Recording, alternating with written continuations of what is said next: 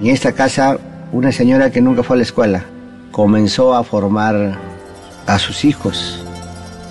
En una pieza dormíamos papá, mamá con cuatro o cinco hijos. Y en otra pieza la cocina con los cuyes. No recibíamos regalo en Navidad. No celebramos la Nochebuena ni el día ni, el Año Nuevo.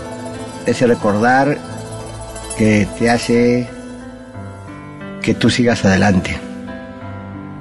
Ese recordar que te hace decir que no es imposible.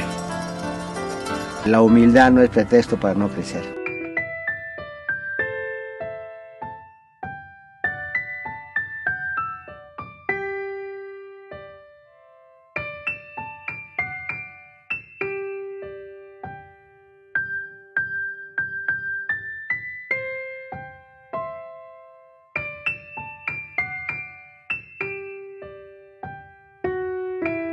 César Acuña, presidente.